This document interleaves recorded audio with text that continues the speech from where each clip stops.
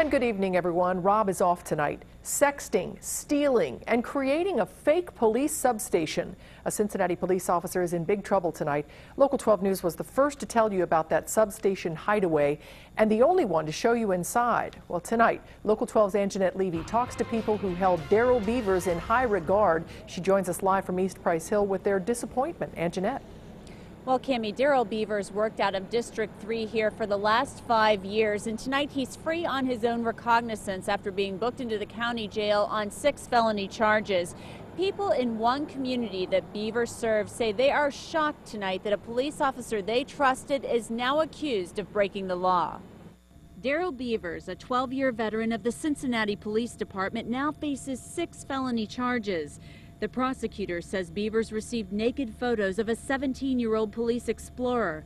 Last week, only Local 12 News took you into the phony police substation Beavers set up in an East Price Hill apartment. Police searched it and found a bed, personal lubricants, and videos. Police say Beavers used his position to get the apartment rent free and then destroyed his cell phone when he found out he was being investigated.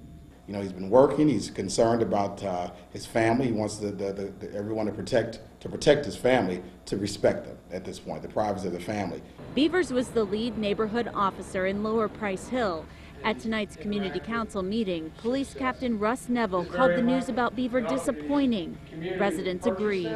Well, we were first of all shocked because the man was absolutely reliable and we feel left down, let down disappointed. Beavers had a commendation in his personnel file from Community Council President Jack Degano. While disappointed, neighbors say he did a lot to make Lower Price Hill a better place to live. You heard discussion about how a lot of the bad guys are back just in the last week since he hasn't been here. Word is out, and so it's open season again. And Captain Neville said he's working on finding another neighborhood officer for Lower Price Hill. Daryl Beavers, meanwhile, is charged with four counts of illegal use of a minor in nudity-oriented material, theft in office, and tampering with evidence. His attorney says he'll plead not guilty when he's arraigned later this week or early next. Reporting live in East Price Hill, Anjanette Levy, Local 12 News. Cami? All right, Anjanette, thank you. Daryl Beavers was stripped of his police powers last week. Today, he was placed on unpaid leave. Before working at the Cincinnati Police Department, he was drafted by the Philadelphia Eagles of the NFL. He also played a year in the Canadian Football League.